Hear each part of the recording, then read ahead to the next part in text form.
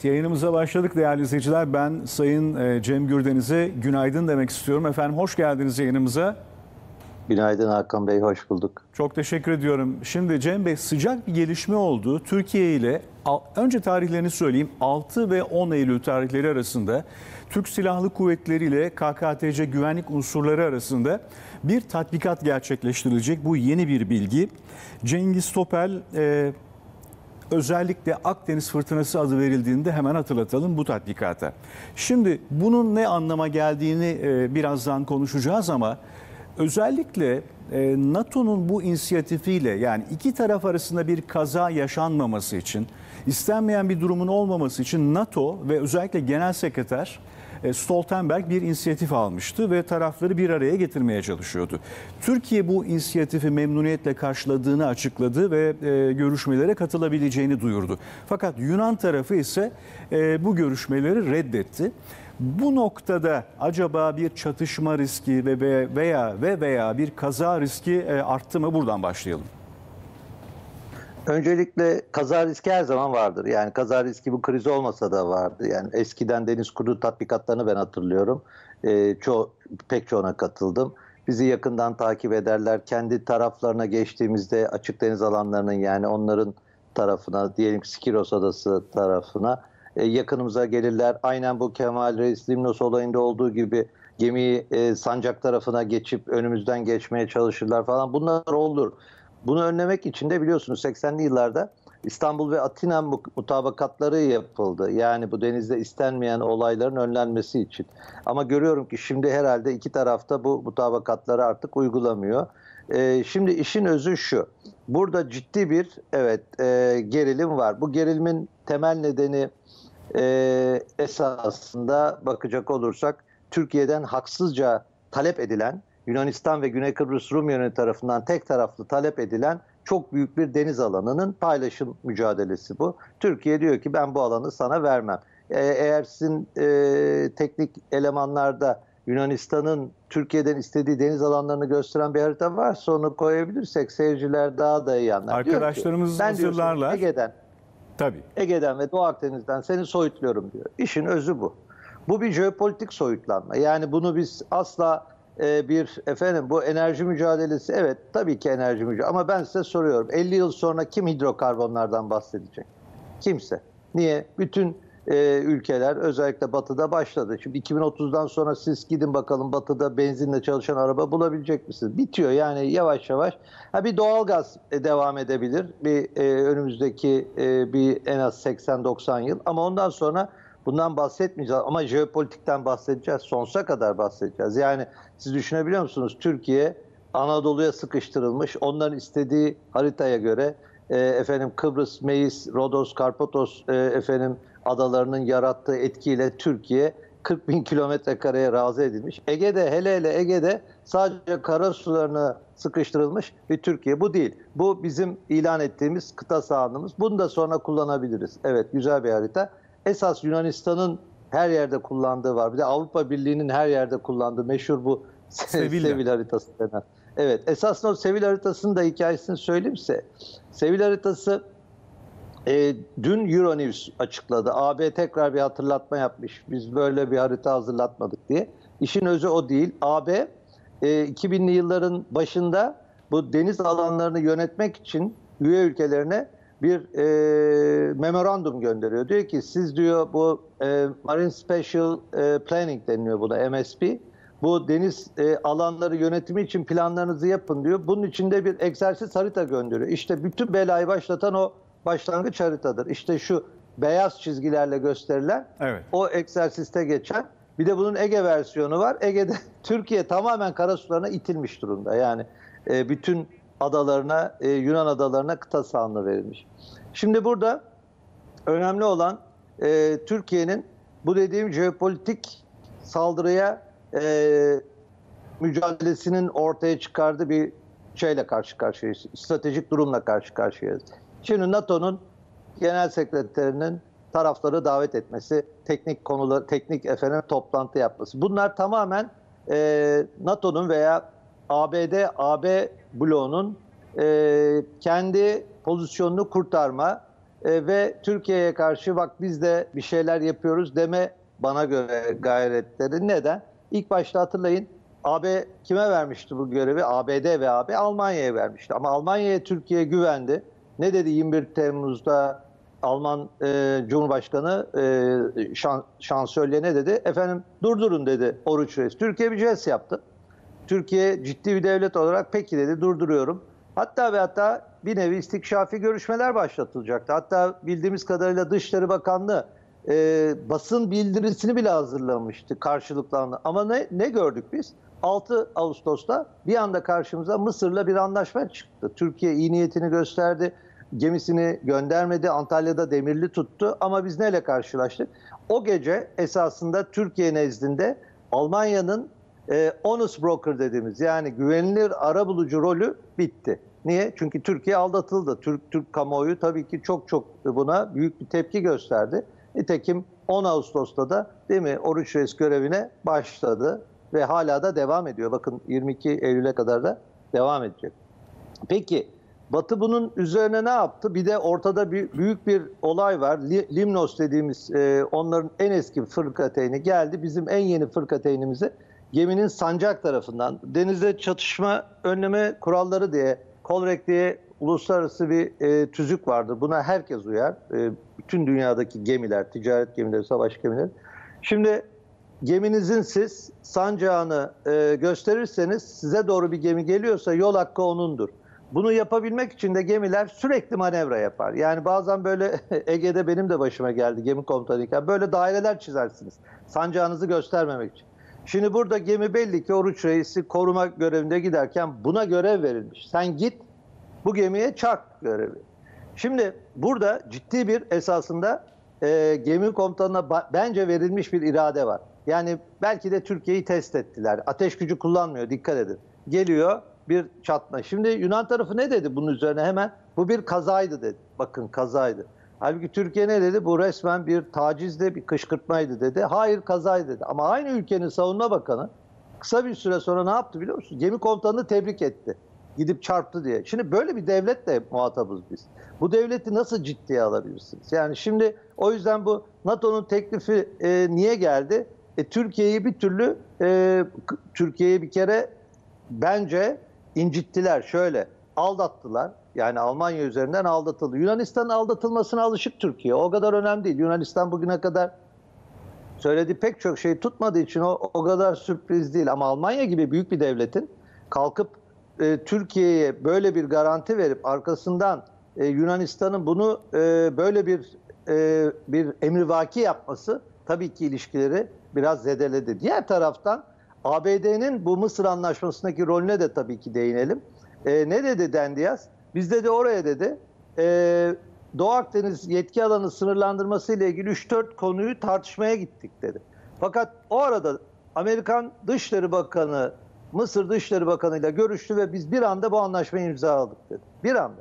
Şimdi burada da neyi görüyoruz? Esasında büyük bir plan var. Yani Türkiye'ye Doğu Akdeniz'de demin gösterdiğiniz haritadaki alanı uygulatmamak için böyle bir koordineli e, bir e, işbirliği var. Ancak bu işbirliğinde şu da var. Arada eşgüdüm yok. Yani bunu ABD Dışişleri Bakanı Mısır'a empoze ediyor, imzalattırıyor. Ama şeyin haberi yok. Merkel'in haberi yok. Yani aralarında da koordine yok. Niye? Merkel çünkü böyle bir şey olacağını bilse Türkiye'nin Cumhurbaşkanı'nı arayıp gemiyi kaldırmayın der mi? Demez. Burada şimdi kim küçük düşmüş oldu? Almanya da küçük düşmüş oldu. Değil mi? Ama ABD için bir sorun yok. ABD nasıl olsa... Amerika Birleşik Devletleri, Sayın Gürdeniz, Amerika Birleşik Devletleri bu hamlesiyle Almanya'nın gelişimini bir anlamda açığa mı düşürmüş oldu? Almanya yani ve ABD arasında bir rekabet tamam. olduğu zaten biliniyor birçok alanda. Ekonomi başta olmak üzere belli noktalarda hakimiyet sahaları. Burada bir kasıtlı Bravo. ve planlı bir girişim olduğunu mu düşünüyorsunuz? Ben, bence iki ülkeye de mesaj ver. Türkiye'ye şu mesajı verdi. Bir kere ABD krizin devamından bence memnun. Niye memnun söyleyeyim. E, büyük yığınak yapıyor. Yunanistan tarihinde olmamış bir görülmemiş düzeyde bugün Amerikan silahlarının, Amerikan e, varlığının Yunanistan'daki artışını görüyoruz. Dede Ağaç'tan efendim Suda'daki üsse kadar, e, Larissa'daki hava üssünden e, diğer alanlara kadar. Şimdi halbuki geleneksel olarak Yunanistan anti-Amerikan bir ülke olarak bilinirdi. Yani hatta 80'li yıllarda falan bütün Amerikan üslerinin kapanması için orada çok büyük gösteriler bile olmuştu. Başbakanlar bile katıldı. olarak- Bugünkü liderleri bile o et- etkinliklere, eylemlere katılan kuşaklar. Evet, evet. Şimdi düşünebiliyor musunuz? Şu an Yunanistan'da nasıl bir transformasyon var? Dede Ağaca 101. Hava İndirme Tugayı ki Amerika'nın en elit birliğidir. Bütün ağırlıklarıyla oraya geçenlerde geldiler hatırlayın gemilerle. Konteyner gemileriyle geldiler. Efendim USNS Ships dediğimiz ABD donanmasına bağlı lojistik destek filosuyla geldiler ve orada ağır bir tahkimat var. Yani çok kritik bir bölge. Görünüşte e, Balkanların bir yerde güney kanadını takviye ediyor gibi görünüyor. Ama bunun e, gerektiğinde Türkiye'yi caydırmak için kullanılabilecek bir askeri yığınaklanma olduğunu da asla unutmamak lazım. Bir dakika Demek bu, ki- bu önemli Sayın Gürdeniz. İstenmeyen bir durum meydana gelir ve Türkiye ile Yunanistan askeri olarak sahada karşı karşıya gelirse Amerika Birleşik Devletleri'nin bu Dede Ağaç'a yaptığı yığınak Türkiye'nin olası e, Trakya'dan e, bir şekilde bir kara operasyonunu karadan ve veya havadan engellemeye dönük bir yığınak mıdır? Yani ABD ordusu NATO'da e, Türkiye ile karşı karşıya gelme ihtimali mi var burada e, Türk-Yunan olası ben bu- çatışmasında? Ben tabii ki asla masum bir e, bir girişim olarak görmüyorum buradaki yığınaklanmayı. Yani çok kritik bir bölge. Bakın Dede Ağaç bölgesi Çanakkale Havzası'nı kontrol ediyor. Yani yarın öbür gün Dede Ağaç'ta çok büyük bir deniz üssü kurulduğunu düşünelim ki onun faaliyetleri başladı. Biliyorsunuz 9 Ocak 2020'de çok ciddi bir savunma anlaşması imzalandı. Yeni bir savunma anlaşması Yunanistan'la. Yunanistan bütün üslerini ABD kullanımına açtı. Bu çok önemli bir girişim. Şimdi Dede Ağaç'ta büyük bir Amerikan deniz gücünün olduğunu düşünelim. Bahreyn'de olduğu gibi nasıl İran'a karşı Bahreyn'de büyük üsleri var. Ee, ve bu üssün e, diyelim ki Türkiye'nin Rusya ile yakınlaştığı bir durumu düşünelim veya Rusya ile ABD'nin ilişkilerinin e, savaş düzeyine geldiğini düşünelim. E, Rusya'nın Çanakkale'den çıktıktan sonra karşılaşacağı ilk tehdit alanı neresi olacak? İşte burası olacak. Yani burada bir taşla iki kuş vuruluyor. Daha, o Akdeniz'deki kriz ABD'nin şu an çok işine yarıyor. Rusya'nın da işine yarıyor. Rusya'nın da şöyle işine yarıyor. Düşünebiliyor musunuz? E, Rusya için şu an en büyük e, yetenek Gazprom. Yani doğalgazın Avrupa Birliği'ne e, Almanya üzerinden girişi. Ukrayna şu an bypass ediliyor. İki rotadan biri Türk akımı, öbürü de Nord Stream 2 denen kuzey akımı. İkisine de ABD'nin ambargo tehdidi var biliyorsunuz hem Türkiye'ye. Şimdi düşünün e, niye Türkiye'ye bu kadar darbe alan verilmişti? Burada Avrupa Birliği gelecek Yunanistan ve Güney Kıbrıs bu geniş alanda yani bize bırakılan küçük alanın dışında buradaki zengin kaynakları bulacak. Bunlar e, Avrupa'yı güneyden destekleyecek ve Rus gazına olan bağımlılık bir nebze azaltılacaktı. Bir. iki Buradan çıkarılacak doğal gaza Fransa başta olmak üzere, Almanya başta olmak üzere e, AB'ye e, AB ülkelerine borcu olan Yunanistan'ın e, bu borçlarını karşılamak üzere bakın 2060 yılına kadar neredeyse 200 milyar euroluk bir borçtan bahsediyoruz. Çok büyük bir borç bu. E şimdi düşünün siz alacaklısınız. Böylesine zengin kaynakların çıktığı bir deniz var. Diyorsunuz ki kardeşim senin alanlarını biz maksimum tutalım ki biz buradan çıkacak gazı da azami kullanıp bu parayla senin borçlarını ödeyelim ve Yunanistan denen bu ülkenin e, hayatta kalmasına destek olalım. İşin özü bu. Şimdi bakın Samaras kimdi? Yunan Başbakanı. Holland kimdi? Yunanistan Cumhurbaşkanı. Tarih veriyorum size. 7 Ocak 2013. Fransa Cumhurbaşkanı. Bravo. Tovima gazetesinde başlık 7 Ocak'ta bakın diyor ki Tovima'da Samaras. İstediğimiz an bakın 7 Ocak 2013'te ben dahil Türk Deniz Kuvvetleri'nin 15 amirali 400'e yakın çok kıymetli denizcisi nerelerde? Hapislerde. Niye? Ee, Doğu Akdeniz'deki komuta yapısını bozmak için. Yani Türkiye'nin bir deniz gücü nedir? Kuvvet yapısı vardır gemileri. Bir de komuta yapısı vardır.